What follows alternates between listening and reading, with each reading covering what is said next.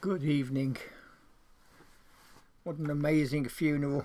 What a very moving day it's been as we've said goodbye to one of our own in a military setting and to a man who has given so much to this nation.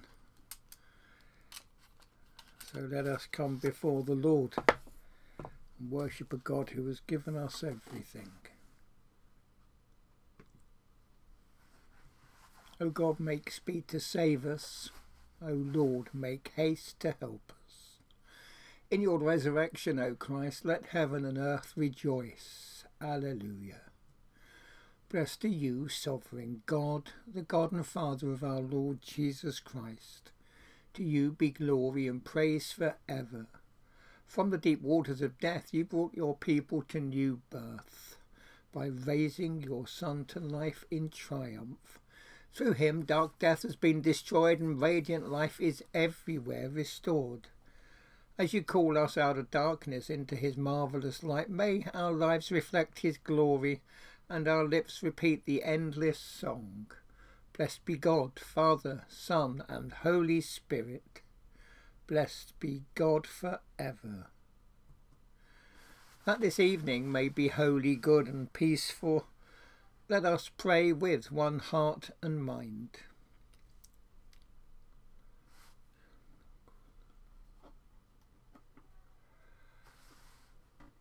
As our evening prayer rises before you, O God, so may your mercy come down upon us to cleanse our hearts and set us free to sing your praise now and forever. Amen. Psalm 66 Shout for, to God for joy, everyone on earth. Sing about the glory of his name. Give him glorious praise. Say to God, what wonderful things you do. Your power is so great that your enemies bow down to you in fear. Everyone on earth bows down to you. They sing praises to you. They sing the praises of your name. Come and see what God has done See what wonderful things he has done for the people. He turned the Red Sea into dry land. The people of Israel passed through the waters on foot. Come, let us be full of joy because of what he did. He rules by his power forever. His eyes watch the nations. Let no one who refuses to obey him rise up against him. Praise our God, all you nations. Let the sound of your praise to him let the sound of the praise you give him be heard. He has kept us alive. He has kept our feet from slipping. God, you have tested us. You put us through the fire to make us like silver. You put us in prison. You placed heavy loads on our backs. You let our enemies ride their chariots over our heads. We went through fire and water but you brought us to a place where we have everything we need. I will come to your temple with burnt offerings. I will keep my promises to you. I made them with my lips, my mouth spoke them when I was in trouble. I will sacrifice fat animals to you as burnt offerings. I will offer rams, bulls, and goats to you. Come and hear, all you who have respect for God. Let me tell you what he has done for me.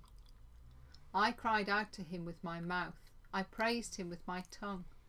If I had enjoyed having sin in my heart, the, the Lord would not have listened. But God surely listened. He has heard my prayer. Give praise to God. He has accepted my prayer. He has not held back his love from me. Glory, Glory to the Father and to the Son and to the Holy Spirit, as it was in the beginning, is now, and shall be for ever. Amen. Exodus 18, verses 13 to 27. The next day Moses took his seat to serve the people as their judge. They stood around him from morning until evening. His father in law saw everything Moses was doing for the people. So he said, Aren't you trying to do too much for these people? You're the only judge, And all these people are standing around you from morning until evening. Moses answered, The people come to me to find out what God wants them to do. Any time they don't agree with one another, they come to me. I decide between them. I tell them about God's rules and instructions. Moses' father in law replied, What you're doing isn't good. You'll just get worn out, and so will these people who come to you. There's too much work for you. You can't possibly handle it by yourself. Listen to me, I'll give you some advice, and may God be with you. You must speak to God for the people. Take their problems to Him, teach them His rules and instructions, show them how to live and what to do. But choose men of ability from all the people. They must have respect for God.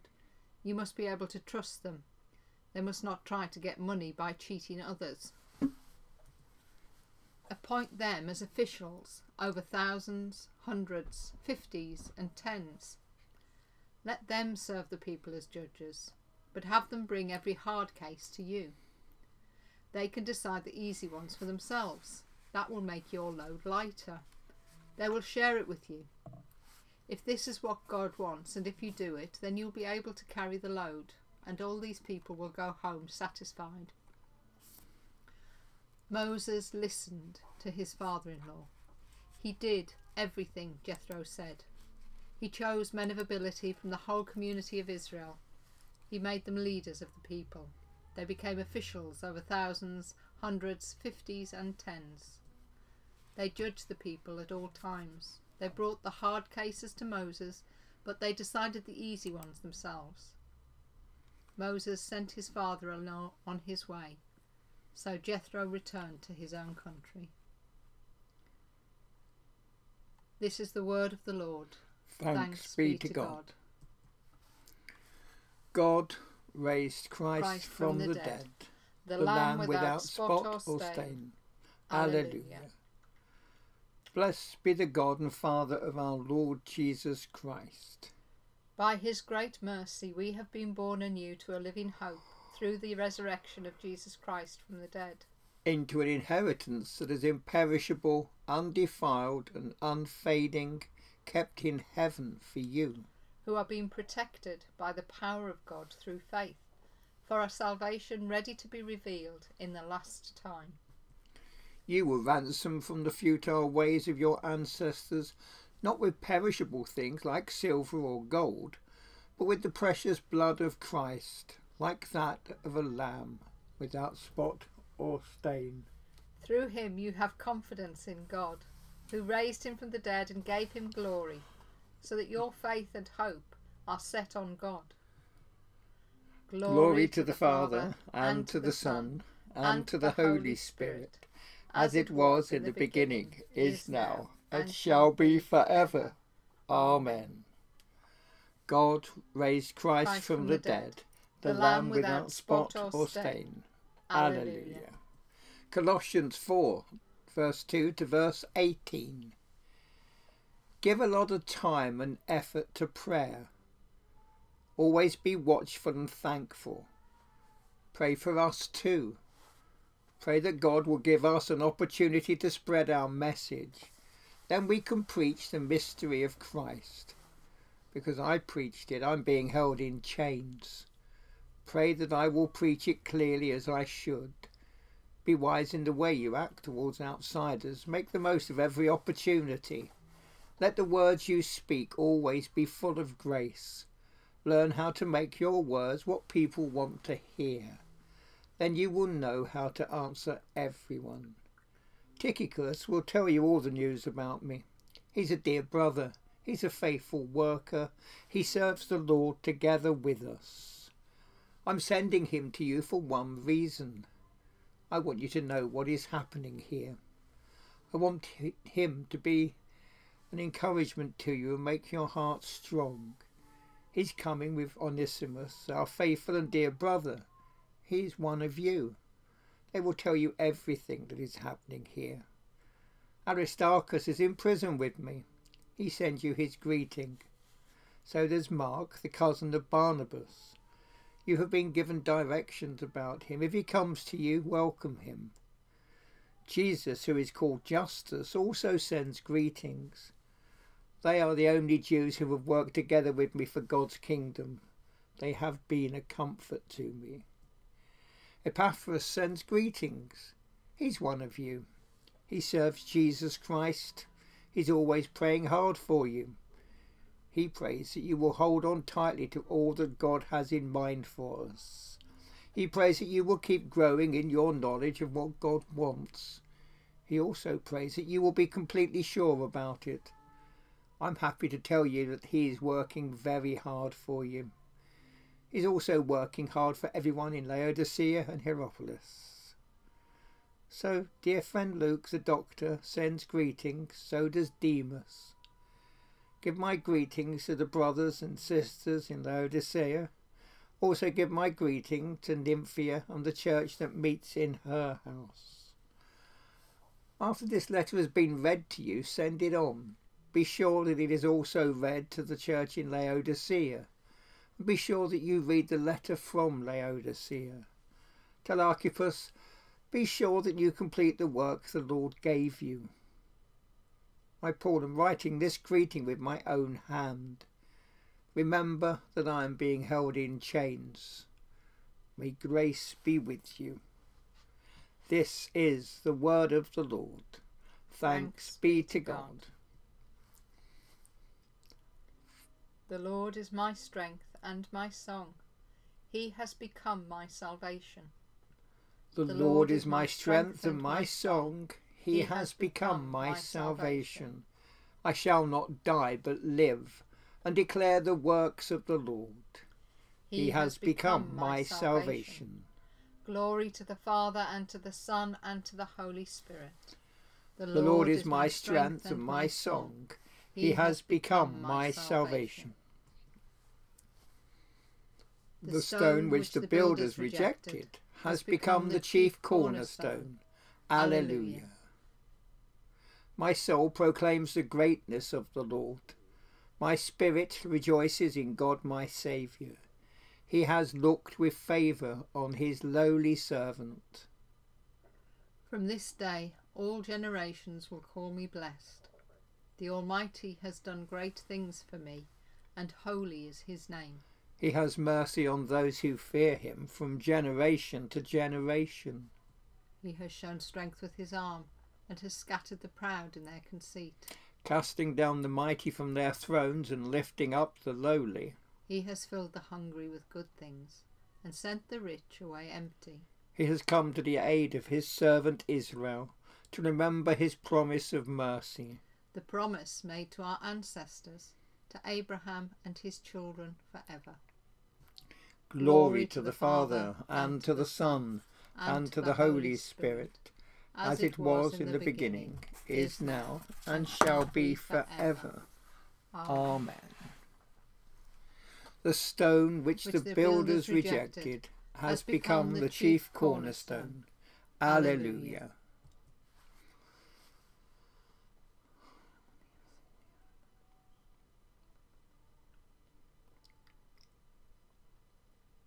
So, Lord, on the day that Prince Philip is laid to rest in the service of dignity of Christian hope, service and commitment. Lord, we pray now for his repose and we pray for the Queen and all those who were at the service, for those who now will still be at Windsor Castle as family, sharing stories and memories and paying their respects by being family. Father God, we thank you for families, places of fun and fights, places where divisions and problems come. But Lord, the sight of seeing two grandsons walking side by side at the end of that funeral, all the newspapers and their politicising and their stirring of things fell to nothing as those two men, those two brothers, walked together. Father, we pray that we all, in times of division, may find the grace and the courage to break the things that separate and to build relationships and bonds. And Father, we thank you that we are called to be yours by name. Help us always to live to your strength, grace, and mercy. Lord, in your mercy, Hear, hear our our prayer. prayer.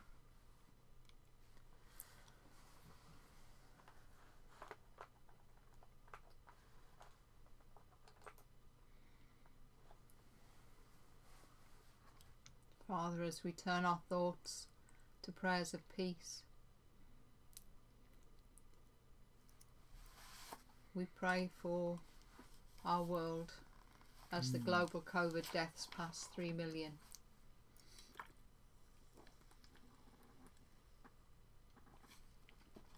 Lord, we pray for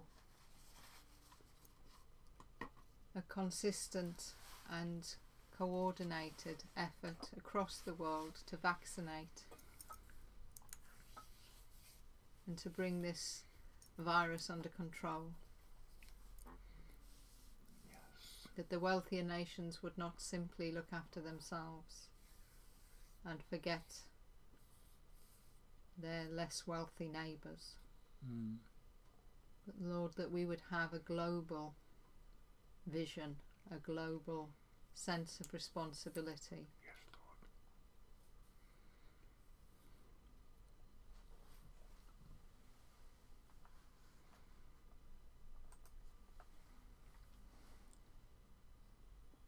Father, we pray for building tensions between the Ukraine and Russia.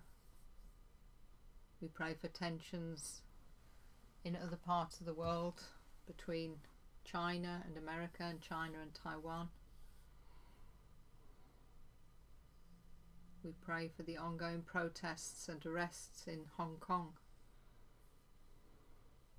Father, that you would be with those who are standing for freedom and democracy. Yes. Lord, we pray for the situation in Myanmar, which has gone out of our news at the moment. But that doesn't mean that people are not still dying. Hmm. Lord, we pray for peace in our world. Yes. We pray for peace in our communities. We pray for an end to the violence on our streets. We pray that people will be able to walk around the streets without threat of violence, without threat of knife crime or being attacked. We pray for the family of the young boy in hospital after being attacked in Wilnecote. Mm.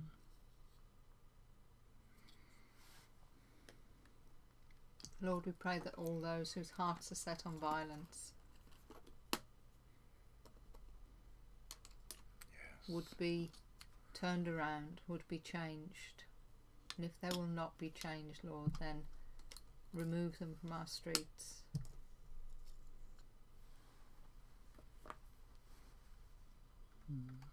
Father, we ask for safety. We ask for peace. And we ask for that safety and that peace that can only be found in you. Even when the world around us is going mad and when circumstances are fraught with difficulty and danger, we can still find peace. We can still find safety. Mm. Because you hold us in your hands. And our future is secure with you. Lord, in your mercy, Hear our prayer. prayer. Father, we pray for our loved ones this evening. We pray for all those we know who have needs. And on a day where the COVID deaths pass the three million mark, Lord, we pray for those who work in the health service this night, for those who work in care homes, those who are working as vaccinators. Lord, for all those who are working on the front line as we now perceive it to be, we Pray for them and their safety, for our family members who may be in hospital or have been in hospital this week. We pray for those we know and love, and we pray for Maureen Williams and for Kevin and Patsy and Lizzie and so many we know who have been beset by cancer. We pray for the families of those with cancer who pray and watch and wait. We pray for those we know with mental, mental and medical health issues this night. We pray for those who are struggling with work or jobs having ended and money not being available and the stresses of just keeping their families fed. Lord, as the day ends and evening comes and the sun sets, we thank you for those for whom life is at the sunset stage. We pray for them, we pray for their health, and we pray for ourselves that you would be God in their lives and ours in all that that means, and we would be your faithful people. Lord, in your mercy, Hear, hear our um, our prayer. Risen Christ, for whom no door is locked, no entrance barred, open the doors of our hearts that we may seek the good of others and walk the joyful road of sacrifice and peace, to the praise of God the Father. Amen. Amen. rejoicing in God's new creation, as our Saviour taught us. So we pray. Our Father in heaven, hallowed be your name. Your kingdom come, your will be done on earth as in heaven. Give us today our daily bread. Forgive us our sins, as we forgive those who sin against us. Lead us not into temptation, but deliver us from evil. For the kingdom, the power, and the glory are yours, now and forever. Amen. May the risen Christ grant us the joys of eternal life. Amen. Thanks be to God. Oh, let us bless the Lord. Alleluia, alleluia. Thanks be to God.